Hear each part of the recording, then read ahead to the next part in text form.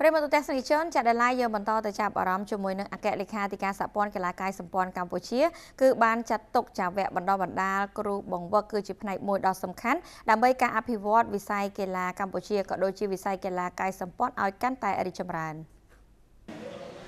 លោកណយផាណាអគ្គលេខាធិការសហព័ន្ធកីឡាកាយសម្ព័ន្ធកម្ពុជាបានចាត់ទុកវគ្គបណ្ដុះបណ្ដាលគ្រូបង្វឹកគឺជាផ្នែកដ៏សំខាន់នៃដំណើរការអភិវឌ្ឍពិសេសការរួមចំណែកផលិតនៅធនធានកីឡាករកីឡាការិនី ក្នុងដំណើរឆ្ពោះទៅស៊ីហ្គេម2023នៅកម្ពុជា។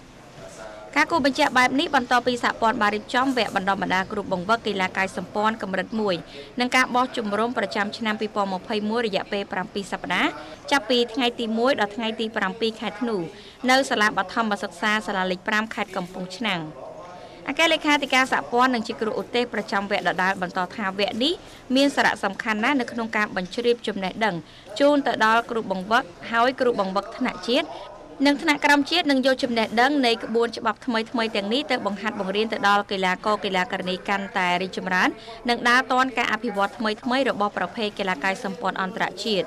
អ្នកជំនាញកីឡាកាយសម្ព័ន្ធរូបនេះបានបង្ហាញសុតិធិនិយមថាតាមរយៈវគ្គបណ្ដុះបណ្ដាលកម្រិតខ្ពស់នេះនឹងជួយជំរុញការអភិវឌ្ឍឲ្យកាន់តែល្អប្រសើរឆ្ពោះទៅទទួលធ្វើម្ចាស់ផ្ទះ SEA Games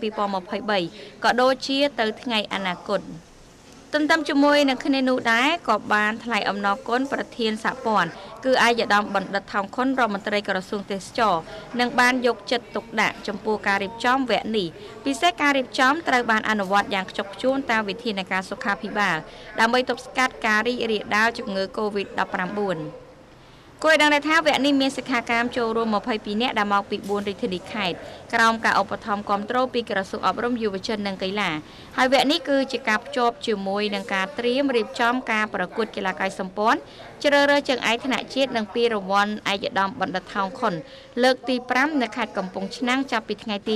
8ដល់ថ្ងៃទី13ខែធ្នូ2021ខាងមុខនេះផងដែរ។